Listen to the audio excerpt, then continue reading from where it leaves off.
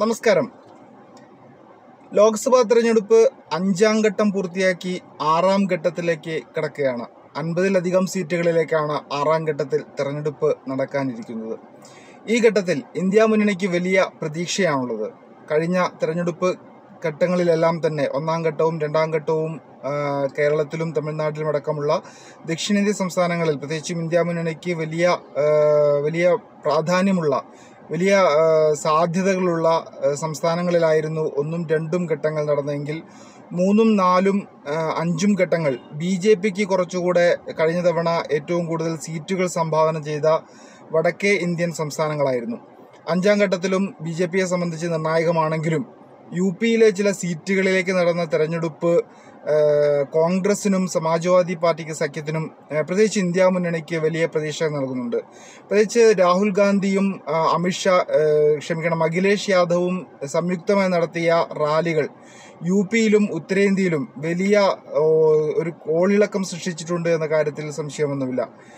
ഉത്തർപ്രദേശിലെ പ്രയാഗ്രാജിൽ പ്രവർത്തകരുടെ ആവേശ തള്ളിച്ച കാരണം ഇരുവർക്കും പ്രസംഗിക്കാൻ പോലും സാധിക്കാത്ത ഒരു സാഹചര്യമുണ്ടായി. കഴിഞ്ഞ കുറേ കാലമായി പ്രധാനമന്ത്രിയുടെ തെരഞ്ഞെടുപ്പ് യോഗങ്ങളിൽ മാത്രം കണ്ടുവരുന്ന ഈ ഒരു ആവേശ പ്രകടനം പ്രതിപക്ഷത്തെ മുഖ്യ കക്ഷിയായ കോൺഗ്രസിന്റെ നേതാവ് രാഹുൽ ഗാന്ധിയുടെയും അഖിലേഷ് യാദവിന്റെയും ഒക്കെ സമ്മേളനങ്ങളിലേക്ക് കൂടെ പടർന്നുമ്പോൾ അത് പ്രതിപക്ഷത്തിന് വലിയ ഊർജവും പ്രതിപക്ഷത്തിന് വലിയ സാധ്യതകളും പ്രതിപക്ഷത്തിന് വലിയ ആത്മവിശ്വാസവും നൽകുന്നുണ്ട് എന്ന കാര്യത്തിൽ സംശയമൊന്നുമില്ല. റായ്ബറേലി കഴിഞ്ഞ കുറേ കാലങ്ങൾക്ക് ശേഷം ശക്തമായ ഒരു തെരഞ്ഞെടുപ്പ് പോരാട്ടത്തിനാണ് സാക്ഷ്യം വെച്ചത്.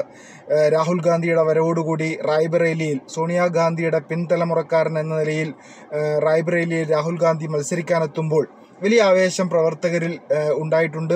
പ്രത്യേകിച്ചും സമാജ്വാദി പാർട്ടിയുടെ ശക്തമായ പിന്തുണയും റായ്ബറേലിയിൽ രാഹുൽ ഗാന്ധിക്ക് അനുകൂലമായ ഒരു സാഹചര്യമുണ്ട്. അഞ്ചാം ഘട്ടം കടക്കുമ്പോഴത്തെ സാഹചര്യം ഇതാണ്.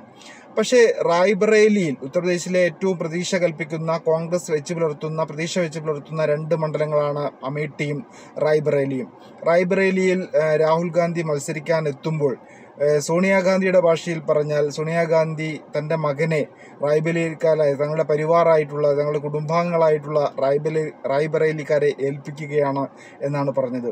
പക്ഷേ സോണിയാഗാന്ധി തന്റെ പരിവാറുകാരെ കാണാൻ രണ്ടായിരത്തി പത്തൊൻപതിന് ശേഷം ആദ്യമായാണ് റായ്ബറേലിയിൽ എത്തിയത്.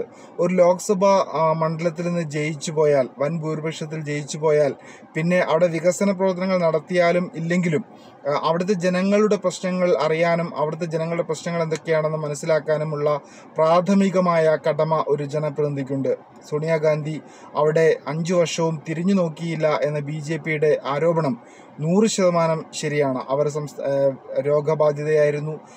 അവർക്ക് പല ആരോഗ്യ പ്രശ്നങ്ങളുണ്ടായിരുന്നു കോൺഗ്രസ് പാർട്ടിയുടെ അധ്യക്ഷ എന്ന നിലയിൽ ഇടക്കാല അധ്യക്ഷ എന്ന നിലയിൽ തിരക്കുകൾ ഉണ്ടായിരുന്നു. കോൺഗ്രസിന്റെ പല നിർണായക തീരുമാനങ്ങളിലും എടുക്കേണ്ട പ്രധാനപ്പെട്ട ആൾ തന്നെയാണെങ്കിൽ പോലും അവരെ വിശ്വസിച്ച് അവർക്ക് വോട്ട് ചെയ്ത ജനങ്ങളോടുള്ള ഉത്തരവാദിത്വം നിർവഹിക്കുന്നതിൽ പ്രത്യക്ഷത്തിൽ പരോക്ഷമായി പല വികസന പ്രവർത്തനങ്ങളും അവിടെ നടന്നിട്ടുണ്ട്.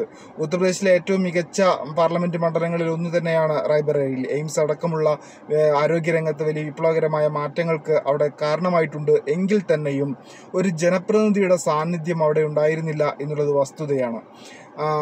ഇപ്പോൾ രാഹുൽ ഗാന്ധി ജയിച്ചാലും അതുതന്നെയായിരിക്കും അവസ്ഥ.